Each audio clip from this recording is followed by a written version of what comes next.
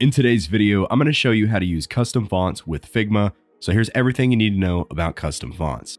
Firstly, whether you're using the desktop app of Figma or you're using it in the browser, you have access to Google's web fonts. So you have a large library of fonts to choose from, but of course that library doesn't have every font. There is a lot of fonts out there on various different websites. Today, I want to install Clash Display from FontShare. Of course, this is not a Google font, so it's not in Figma currently, so here's how you can use these custom fonts.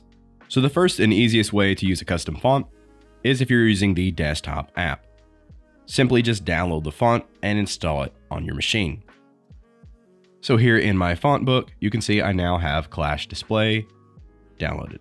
So now if I select my font, go to my dropdown, and there you can see I have Clash Display to choose from. Secondly, if you're using Figma in the browser, you'll need to use their font installer. So I'll have a link to this down in the description. It's just the Figma download page and I'm on Mac OS, so I will download the Mac installer, and that will allow me to use the fonts that are on my machine while using the browser version of Figma. And one thing to note here, if you are running Figma on a Chrome OS or Linux device, local fonts are currently not supported, so you'll be limited to Google's web fonts.